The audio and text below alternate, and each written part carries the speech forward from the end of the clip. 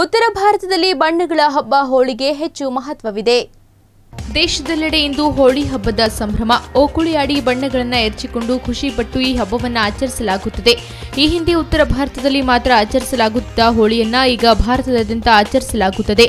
ಸಡಗರ ಸಂಭ್ರಮದೊಂದಿಗೆ ಮನಸ್ಸಿಗೆ ಉಲ್ಲಾಸ ತರುವ ಬಣ್ಣಗಳ ಎರಚಾಟದ ನಂತರ ಸ್ನಾನ ಮಾಡಿ ದೇವರ ಪೂಜೆ ನೆರವೇರಿಸುವುದು ಹೋಳಿ ಹಬ್ಬದ ವಿಶೇಷ. ರಂಗುರಂಗಿನ ಬಣ್ಣಗಳ ಓಕುಳಿ ಹರಿಸಿ ಇಡೀ ವರ್ಷ ಸಂತೋಷದ ಕೋಡಿಯ ಹರಿಯಲಿ ಎಂದು ಹಾರೈಸುವ ರಂಗಿನ ಹಬ್ಬವೇ ಹೋಳಿ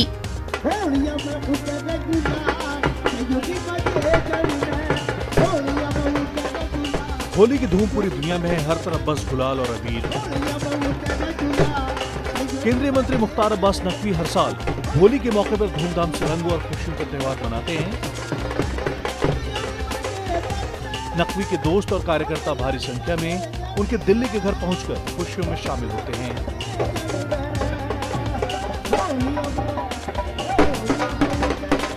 वहीं उत्तर प्रदेश के मुख्यमंत्री योगी आदित्यनाथ गोरखपुर में होली का त्योहार धूमधाम से मना रहे हैं।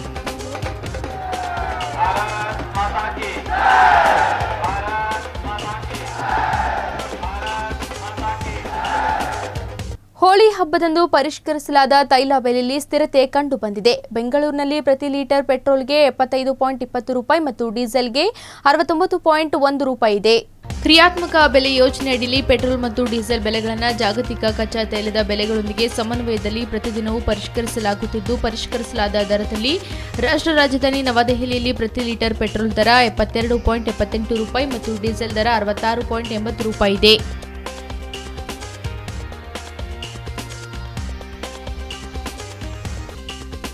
ಜಮ್ಮು ಕಾಶ್ಮೀರದ ಸೋಪೂರ್ನಲ್ಲಿ ಭದ್ರತಾ ಪಡೆಗಳನ್ನು ಗುರಿಪಡಿಸಿ ಗ್ರೆನೇಡ್ ದಾಳಿ ನಡೆಸಿದ್ದಾರೆ. ಉಗ್ರರು ನಡೆಸಿದ ದಾಳಿಯಲ್ಲಿ ಇಬ್ಬರು ಪೊಲೀಸರು ಗಾಯಗೊಂಡಿರುವುದಾಗಿ ತಿಳಿದು ಬಂದಿದೆ. ಸೋಪೋರ್ನಲ್ಲಿ ಉಗ್ರರು ಅಡಗಿರುವ ಬಗ್ಗೆ ಮಾಹಿತಿ ಪಡೆದ ಭದ್ರತಾ ಪಡೆ ಉಗ್ರರ ವಿರುದ್ಧ ಕಾರ್ಯಾಚರಣೆಯನ್ನು ಚುರುಕುಗೊಳಿಸಿದ್ದರು. ಅಡಗಿಕೊಂಡಿರುವ ಉಗ್ರರಿಗಾಗಿ ಪೊಲೀಸರು ಮತ್ತು ಭದ್ರತಾ ಪಡೆಗಳು ಕಾರ್ಯಾಚರಣೆ ನಡೆಸುತ್ತಿದ್ದ ವೇಳೆ ಭದ್ರತಾ ಪಡೆಯನ್ನೇ ಗುರಿಯಾಗಿಸಿ ಉಗ್ರರು ಗ್ರೆನೇಡ್ ದಾಳಿ ನಡೆಸಿದ್ದಾರೆ. ಈ ದಾಳಿಯಲ್ಲಿ ಇಬ್ಬರು ಯು ಪೊಲೀಸರು ಗಾಯಗೊಂಡಿದ್ದಾರೆ ಎಂದು ನ್ಯೂಸ್ ಏಜೆನ್ಸಿ ಪಿಟಿಐ ವರದಿ ಮಾಡಿದೆ. ದಾಳಿಯ ನಂತರ ಪೊಲೀಸ್ ಪಡೆ ಮತ್ತು ಭದ್ರತಾ ಪಡೆಗಳು ಇಡೀ ಪ್ರದೇಶವನ್ನು ಸುತ್ತುವರೆದಿದ್ದು ದಾಳಿಕೋರರ ಹುಡುಕಾಟ ನಡೆಸುತ್ತಿವೆ. ಕಾಲೇಜು ವಿದ್ಯಾರ್ಥಿಗಳನ್ನ ಹಿಗ್ಗಾಮುಗ್ಗಾ ಥಳಿಸಿದ ಪ್ರಾಂಶುಪಾಲ ಹಾಗೂ ಉಪನ್ಯಾಸಕರು. ಈ ಘಟನೆಯ ಹಾಸನದ ಸರ್ಕಾರಿ ಕಲಾ ಕಾಲೇಜಿನಲ್ಲಿ ನಡೆದಿದೆ. ಪಾರ್ಕಿಂಗ್ನಲ್ಲಿ ನಿಲ್ಲಿಸಿದ್ದ ಬೈಕ್ನ ಟೈರ್ ಗಾಳಿ ಬಿಟ್ಟಿದ್ದನ್ನ ಪ್ರಶ್ನಿಸಿದ್ದಕ್ಕೆ ಆಕ್ರೋಶಗೊಂಡ ಪ್ರಾಂಶುಪಾಲ, ಹಾಸನದ ಸರ್ಕಾರಿ ಕಲಾ ಕಾಲೇಜಿನ ರೌಡಿಗಳಂತೆ ಇಬ್ಬರು ವಿದ್ಯಾರ್ಥಿಗಳ ಮೇಲೆ ಮುಗಿಬಿದ್ದು ಮನಬಂದಂತೆ ಥಳಿಸಿದ ಉಪನ್ಯಾಸಕರು. ವಿದ್ಯಾರ್ಥಿಗಳನ್ನ ಅಮಾನುಷವಾಗಿ ಥಳಿಸಿದ ಹಾಸನದ ಸರ್ಕಾರಿ ಕಲಾ ಕಾಲೇಜಿನ ಬೋಧಕರು ಕಾನೂನು ಪದವಿ ಓದುತ್ತಿರುವ ವಿಶ್ವಾಸ್ ಮತ್ತು ಅದೇ ಕಾಲೇಜಿನ ಬಿಎ ವಿದ್ಯಾರ್ಥಿ ಮೇಲೆ ಹಲ್ಲೆ. ಸರ್ಕಾರಿ ಕಲಾ ಕಾಲೇಜು ಆವರಣದಲ್ಲಿ ಕೆಲ ಹೊತ್ತಿನ ಹಿಂದೆ ಘಟನೆ ನಡೆದಿದೆ. ವಿದ್ಯಾರ್ಥಿಗಳ ಮೇಲೆ ಉಪನ್ಯಾಸಕರ ಹಲ್ಲೆ ದೃಶ್ಯವನ್ನ ವಿಡಿಯೋ ಮಾಡಿರುವ ವಿದ್ಯಾರ್ಥಿಗಳು ವಾಟ್ಸ್ಆಪ್ನಲ್ಲಿ ಹರಿದಾಡುತ್ತಿರುವ ವಿಡಿಯೋ ವೈರಲ್. ಪ್ರಾಂಶುಪಾಲ ಹಾಗೂ ಉಪನ್ಯಾಸಕರ ವಿರುದ್ಧ ಸಾರ್ವಜನಿಕರು ಆಕ್ರೋಶ ವ್ಯಕ್ತಪಡಿಸಿದ್ದಾರೆ. ಪ್ರಾಂಶುಪಾಲ ಹಾಗೂ ಉಪನ್ಯಾಸಕರ ವಿರುದ್ಧ ಬಡಾವಣೆ ಠಾಣೆಗೆ ದೂರು ನೀಡಿದ ವಿದ್ಯಾರ್ಥಿಗಳು ಪ್ರಾಂಶುಪಾಲ ರಾಜಪ್ಪ ಹಾಗೂ ಉಪನ್ಯಾಸಕರಿಂದ ಕೃತ್ಯ.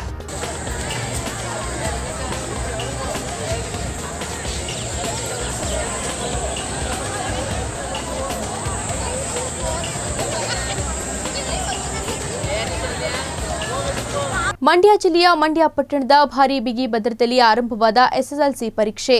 ಕೆಆರ್ಪೇಟೆ ತಾಲೂಕಿನ ಒಂಬತ್ತು ಕೇಂದ್ರಗಳಲ್ಲಿ ಪರೀಕ್ಷೆ ಬರೆಯುತ್ತಿರುವ ಮೂರು ಸಾವಿರದ ನೂರ ಇಪ್ಪತ್ತೊಂದು ವಿದ್ಯಾರ್ಥಿಗಳು ಪರೀಕ್ಷಾ ಕೇಂದ್ರಗಳಿಗೆ ಭೇಟಿ ನೀಡಿ ಸಿದ್ಧತೆಗಳನ್ನು ಪರಿಶೀಲಿಸಿದ ಬಿಇಒ ಎಸ್ ರೇವಣ್ಣ.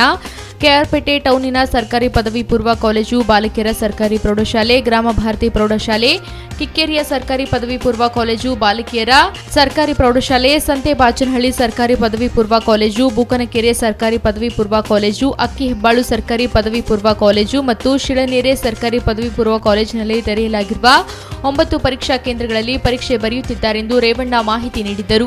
ಪರೀಕ್ಷಾ ಕೇಂದ್ರದ ಆವರಣದಲ್ಲಿ ಸಿಸಿಟಿವಿ ಕ್ಯಾಮೆರಾ ಅಳವಡಿಕೆ ಸೇರಿದಂತೆ ಬಿಗಿ ಬಂದೋಬಸ್ತ್ ಕೈಗೊಳ್ಳಲಾಗಿದೆ ಎಂದು ರೇವಣ್ಣ ವಿವರಿಸಿದರು ಈ ಸಂದರ್ಭದಲ್ಲಿ ಕ್ಷೇತ್ರ ಸಮನ್ವಯಾಧಿಕಾರಿ ಲಿಂಗರಾಜು, ತಾಲೂಕು ಪ್ರೌಢಶಾಲಾ ಮುಖ್ಯೋಪಾಧ್ಯಾಯರ ಸಂಘದ ಅಧ್ಯಕ್ಷ ಪಿಜೆ ವೆಂಕಟರಾಮು ಅಕ್ಷರ ದಾಸೋಹ ಯೋಜನೆಯ ಸಹಾಯಕ ನಿರ್ದೇಶಕ ಮಂಜುನಾಥ್ ಮತ್ತಿತರರು ಉಪಸ್ಥಿತರಿದ್ದರು. ಟೆನ್ಷನ್ ಇಲ್ಲ ನಾನು ಆಶೀರ್ವಾದ್ ಸ್ಕೂಲಿಂದ ಬಂದಿರೋದು ತೇಗ್ನಳ್ಳಿ ನಮ್ಮೂರು ಮಾಳ್ಗೂರು. ನಾನು ನಾನು ಎಕ್ಸಾಮ್ಸ್ಗೆಲ್ಲ ಪ್ರಿಪೇರ್ ಆಗಿದ್ದೀನಿ. ಎಲ್ಲರೂ ಚೆನ್ನಾಗಿ ಬರೀರಿ ಅಂತ ನಾನು ಕೇಳ್ತೀನಿ. ಭಯ ಪಡ್ಕೋಬೇಡಿ ಯಾರೂ ಫ್ರೀಯಾಗಿರಿ ಟೆನ್ಷನ್ ಮಾಡ್ಕೊಳಕ್ಕೆ ಹೋಗಬೇಡಿ ಯಾರೂ ನಮ್ಮ ಸರ್ಸ್ ಎಲ್ಲ ಹೇಳ್ಕೊಟ್ಟಿದ್ದಾರೆ, ಚೆನ್ನಾಗಿ ಬರೆಯೋದು. ರಾಜ್ಯಾದ್ಯಂತ ಎಸ್ ಎಸ್ ಎಲ್ ಸಿಯಲ್ಲಿ ಇವತ್ತು ಮಕ್ಕಳುಗಳು ಮೊದಲನೇದಾಗಿ ಇವತ್ತು ಎಕ್ಸಾಮ್ನ ಬರೆಯಕ್ಕೆ ಹೋಗ್ತಾ ಇದ್ದಾರೆ. ಅವರೆಲ್ಲರೂ ಕೂಡ ಒಳ್ಳೇದಾಗಲಿ ಅಂತ ಮೊದಲನೇ ವಿಶ್ ಮಾಡ್ತಾ ಇದ್ದೀನಿ ಅವ್ರಗಳಿಗೆ. ಮತ್ತು ಈ ಎಕ್ಸಾಮ್ ಪರೀಕ್ಷೆಗಳು ಅಂತ ಅಂದರೆ ಯಾರೂ ಕೂಡ ಭಯ ಪಡಬಾರ್ದು ಆತಂಕ ಪಡಬಾರ್ದು. ಮಕ್ಕಳಲ್ಲಿ ನಿಧಾನವಾಗಿ ಆ ಕ್ವಶನ್ ಪೇಪರ್ನ ಯೋಚನೆ ಮಾಡಿ ನಿಧಾನವಾಗಿ ಬರೆಯೋದ್ರ ಮುಖಾಂತರ ಅವರು ಒಳ್ಳೆ ರಿಸಲ್ಟ್ ತರಲಿ, ಆ ಶಾಲೆಗಳಿಗೆ ಒಳ್ಳೆ ರಿಸಲ್ಟ್ ತರಲಿ, ಮತ್ತೆ ಮಕ್ಕಳಲ್ಲಿ ಮಕ್ಕಳುಗಳು ಪೋಷಕರುಗಳಿಗೆ ಒಳ್ಳೆ ಹೆಸರು ತರಲಿ. ಮತ್ತೆ ಏನು ಎಕ್ಸಾಮ್ ಅಂತ ಏನು ಇವತ್ತು ನಮ್ಮ ಮೈಂಡ್ನಲ್ಲಿ ಒಂದು ಪೆಡ ನಮ್ಮ ಸ್ಕೂಲಲ್ಲಿ ಟೀಚರ್ಸ್ ಎಲ್ಲರೂ ಚೆನ್ನಾಗಿ ಹೇಳ್ಕೊಟ್ಟಿದ್ದಾರೆ. ಹೆಂಗೆ ಹೆಂಗೆ ಬರೀಬೇಕು, ಯಾವ ರೀತಿ ಬರಿಬೇಕು, ಚೆನ್ನಾಗಿ ಓದಿಸಿದ್ದಾರೆ, ಮೂರು ಪ್ರಿಪೇಟ್ರಿ ಮಾಡಿದ್ದಾರೆ, ಅದರಲ್ಲೂ ಚೆನ್ನಾಗಿ ಅಂಕಗಳನ್ನು ಪಡೆದಿದ್ದೀವಿ. ಇವತ್ತು ಕನ್ನಡ ಎಕ್ಸಾಮ್ ಇರೋದ್ರಿಂದ ಖುಷಿ ಖುಷಿಯಾಗಿ ಬರ್ತೀವಿ ಒಂದು ಚ ಒಂದು ಜಾಗ ಖಾಲಿ ಬಿಡ್ದಂಗೆ ಎಲ್ಲನೂ ಅಟೆಂಡ್ ಮಾಡಿ ಔಟ್ ಆಫ್ ತೊಗೋಬೇಕು ಅಂದ್ಕೊಂಡಿದ್ದೀನಿ ಗ್ರಾಮರ್ ಎಲ್ಲ ನೈಟ್ ಕ್ಲಾಸ್ ತೊಗೊಂಡು ನಮಗೆ ಗ್ರಾಮರ್ ಎಲ್ಲನೂ ಮಾಡಿದ್ದಾರೆ. ಖುಷಿ ಖುಷಿಯಿಂದ ಹೇಳ್ತಿದ್ದಾರೆ ಎಲ್ಲರಿಗೂ ಒಂದೇ ಥರ ಮಾಡಿ ಎಲ್ಲರನ್ನೂ ಚೆನ್ನಾಗಿ ಪತ್ರಕರ್ತರು ಭಿನ್ನಾಭಿಪ್ರಾಯ ಮರೆತು ಸಂಘಟಿತರಾಗಬೇಕು. ಕೆಇಆರ್ಎ ಸಂಘಟನೆಯು ಪತ್ರಕರ್ತರ ಹಿತ ಕಾಯಲು ಅಸ್ತಿತ್ವಕ್ಕೆ ಬಂದಿದೆ. ವಿಷ್ಣು ಪತ್ರಕರ್ತರಿಗೆ ಮನವರಿಕೆ ಮಾಡಿಕೊಟ್ಟರು. ಪತ್ರಕರ್ತರ ಸ್ವಾಭಿಮಾನವನ್ನ ಎತ್ತಿ ಹಿಡಿಯುವುದು, ಸಂಘಟನೆಯ ಬಲಗೊಳಿಸುವುದು, ಸರ್ಕಾರದ ಸೌಲಭ್ಯವನ್ನ ಪತ್ರಕರ್ತರಿಗೆ ಪ್ರಾಮಾಣಿಕವಾಗಿ ತಲುಪಿಸುವುದು, ಪತ್ರಕರ್ತರ ನೋವು ನಲಿವುಗಳಿಗೆ ಪ್ರಾಮಾಣಿಕವಾಗಿ ಸ್ಪಂದಿಸುವುದು, ಸಮಾಜದಲ್ಲಿನ ಧ್ವನಿತ ಪತ್ರಕರ್ತರ ಧ್ವನಿಯಾಗುವುದು ಸೇರಿದಂತೆ ಪತ್ರಕರ್ತರ ಕಲ್ಯಾಣಕ್ಕಾಗಿ ಬದ್ಧವಾಗಿ ದುಡಿಯುವ ದೇಹೋದ್ದೇಶವನ್ನು ನೂತನವಾಗಿ ಅಸ್ತಿತ್ವಕ್ಕೆ ಬಂದಿರುವ ಕೆಇಆರ್ಎ ಪತ್ರಕರ್ತರ ಸಂಘಟನೆಯು ಹೊಂದಿದೆ ಎಂದು ರಾಜ್ಯಾಧ್ಯಕ್ಷ ವಿಷ್ಣು ಪತ್ರಕರ್ತರಿಗೆ ಮನವರಿಕೆ ಮಾಡಿಕೊಟ್ಟರು. ಕರ್ತವ್ಯನಿರತ ಪತ್ರಕರ್ತರು ಅಕಾಲಿಕವಾಗಿ ನಿಧನರಾದರೆ ಅಪಘಾತದಲ್ಲಿ ತೊಂದರೆಗೊಳಗಾದವರಿಗೆ ಕನಿಷ್ಠ ಒಂದು ಲಕ್ಷ ರೂಪಾಯಿ ಹಣವನ್ನು ಸಹಾಯ ಮಾಡಬೇಕೆಂಬ ಆಲೋಚನೆಯನ್ನ ಸಂಘವು ಹೊಂದಿದೆ.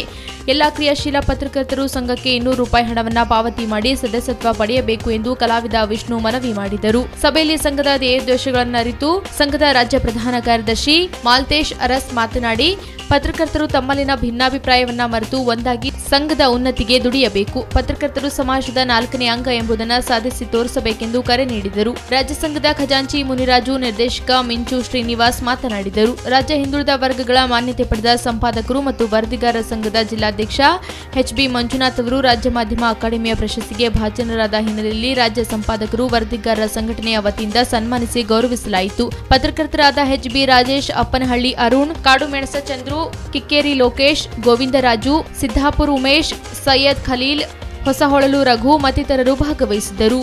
ಜೆಟ್ ಏರ್ವೇಸ್ ಕಗ್ಗಂಟು ದಿನ ಕಳೆದಂತೆ ಬಿಗಡಾಯಿಸುತ್ತಿದೆ. ಒಂದು ಕಡೆ ಸಂಬಳ ನೀಡದೆ ಸತಾಯಿಸುತ್ತಿರುವ ಅಧಿಕಾರಿಗಳು ಮತ್ತೊಂದು ಕಡೆ ವೇತನ ಪಡೆಯಲು ಒದ್ದಾಡುತ್ತಿರುವ ಸಿಬ್ಬಂದಿ ವರ್ಗ. ವೇತನ ಪಾವತಿ ವಿಚಾರಕ್ಕೆ ಸಂಬಂಧಿಸಿ ಈಗ ಸಂಸ್ಥೆಯ ಪೈಲಟ್ಗಳು ಪ್ರಧಾನಿ ನರೇಂದ್ರ ಮೋದಿ ಅವರಿಗೆ ಪತ್ರ ಬರೆದಿದ್ದಾರೆ. ಬಾಕಿ ಸಂಬಳ ಕೊಡದಿದ್ದರೆ ಏಪ್ರಿಲ್ ಒಂದರಿಂದ ವಿಮಾನ ಹಾರಾಟ ನಿಲ್ಲಿಸುತ್ತೇವೆಂದು ಜೆಟ್ ಏರ್ವೇಸ್ ಪೈಲಟ್ಗಳು ಎಚ್ಚರಿಕೆ ನೀಡಿದ್ದಾರೆ. ಜೆಟ್ ಏರ್ವೇಸ್ ಮುಚ್ಚುವ ಹಂತ ತಲುಪುವ ಭಯ ನಮ್ಮನ್ನ ಕಾಡುತ್ತಿದೆ. ಹೀಗಾದರೆ ಸಾವಿರಾರು ಮಂದಿ ನಿರುದ್ಯೋಗಿಗಳಾಗ್ತಾರೆ. ಇದರಿಂದ ಪ್ರಯಾಣಿಕರಿಗೂ ತೊಂದರೆ ಉಂಟಾಗುತ್ತದೆ ಎಂದು ಪೈಲಟ್ಗಳು ಪತ್ರದಲ್ಲಿ ತಿಳಿಸಿದ್ದಾರೆ. ಕಳೆದ ಏಳು ತಿಂಗಳಿನಿಂದ ವೇತನ ಸಿಕ್ಕಿಲ್ಲ. ಕೆಲವರಿಗೆ ಕಳೆದ ಮೂರು ತಿಂಗಳಿನಿಂದ ಒಂದೇ ಒಂದು ರೂಪಾಯಿಗೂ ಖಾತೆಗೆ ಬಿದ್ದಿಲ್ಲ. ಇದರಿಂದ ಕೆಲಸ ಮಾಡುವ ಸ್ಥಳದಲ್ಲಿ ಶಾಂತಿ ಇಲ್ಲದಂತಾಗಿದೆ ಅಲ್ಲದೆ ವೇತನ ಸರಿಯಾಗಿ ಪಾವತಿ ಆಗದೇ ಇದ್ದಲ್ಲಿ ಏಪ್ರಿಲ್ನಿಂದ ತಾವು ಕಾರ್ಯನಿರ್ವಹಿಸುವುದಿಲ್ಲ ಎಂದು ಪೈಲಟ್ಗಳು ಹೇಳಿದ್ದಾರೆ.